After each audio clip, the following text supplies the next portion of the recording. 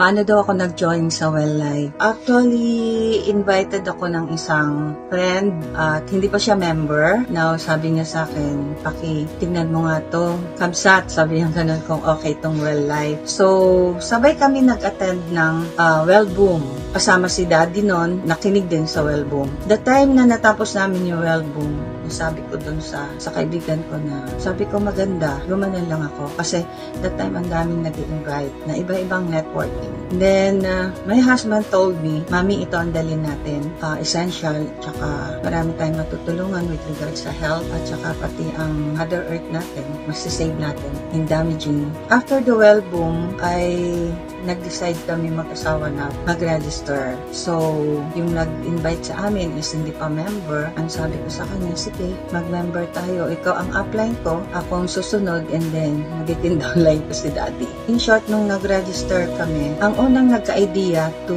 invite my cousin Melly Takeban from Candon is si dad. Sabi niya, why not invite mo ang pinsan mo? Makakatulong yan sa hotel nila kasi um, alam ko marami siyang magagamit yan sa Well Life products. When I recall, lahat ng sinabi sa akin ni Dad. Ay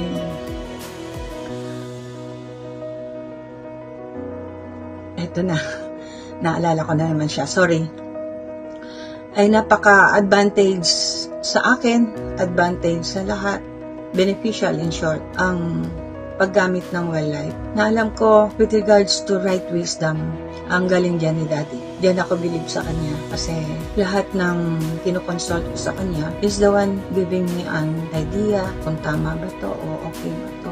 Then nung sabi niya na invite mo yung pinsan mo. So, in-invite ko. And I'm so thankful for my cousin kasi sa dami ng in- inalo ko sa kanya, medyo nagkakaproblema yung, yung company. Uh, this time, I know na maganda tong pinasokan natin. Well, life. Alam ko.